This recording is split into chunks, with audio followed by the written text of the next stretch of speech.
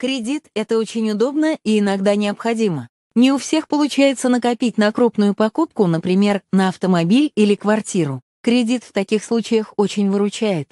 Но нужно понимать, что вы не просто получаете нужную сейчас сумму денег, но и новые финансовые обязательства. И подходить к этому вопросу нужно ответственно, все взвесить, обдумать и правильно оформить кредит. Все мы знаем о мелком шрифте в договоре и ненужных навязанных услугах, но как отказаться от них знают немногие. Какие пункты договора должны вас насторожить и как выгодно взять кредит, подробнее об этом читайте в нашем полном обзоре.